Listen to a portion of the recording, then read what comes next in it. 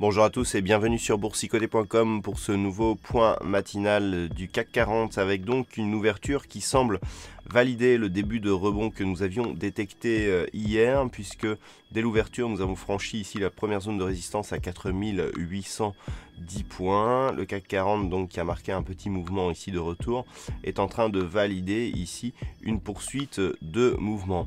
Alors, d'un point de vue global, tant que l'on reste ici sous la zone des 4897, ce ne sera qu'un mouvement technique. Il faudra vraiment remonter ici au-delà de cette zone pour euh, commencer à espérer un véritable retournement de la tendance très court terme.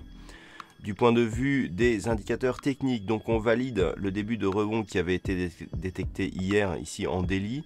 Lorsque l'on passe en unité de temps 4 heures, nous avons une configuration donc qui valide la, la, divergence haussière que nous avions détectée hier, avec ici des points bas sur l'indicateur qui remontent alors que les points bas sur indicateur redescendent. Ce que nous pouvons constater, c'est que nous sommes ici sur des cours qui viennent au contact ici de la moyenne mobile 20 exponentielle.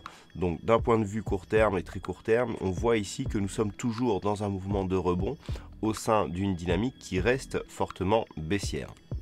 Alors, si on considère vraiment ce mouvement, on voit ici qu'on a la première, euh, le premier contact avec la moyenne mobile 20 exponentielle qui pourrait intervenir rapidement. On voit ici que sur cette, cette vue, eh c'est vraiment euh, la zone ici de, de, retour sur éventuellement les 4897 qui pourrait valider un mouvement de retournement. Nous avons ici donc ce gap hein, qui est toujours d'actualité, dont, aucune tentative de comblement n'a été effectuée. Et c'est vraiment au-delà de cette zone que euh, le retournement euh, pourrait commencer à devenir possible. Pour ce matin, on voit aussi que la zone des 4810 points eh bien, a agi en tant que support depuis le franchissement hier. Ça, c'était hier soir. Donc, tant que l'on préserve aussi euh, dans, cette, dans cette séance eh bien, la zone des 4810 points, on reste sur une dynamique plutôt haussière pour cette journée. Voilà donc ce que l'on peut dire sur cette analyse technique du CAC 40 et sur ce point matinal. D'un point de vue euh, macroéconomique, il n'y aura pas de chiffres majeurs en Europe euh, ce matin.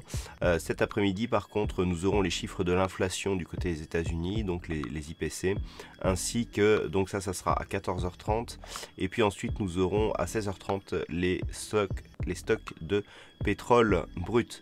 Voilà donc pour cette séance, passez de bons trades, on se retrouve dès ce soir pour toutes les autres analyses techniques du site boursicoté.com.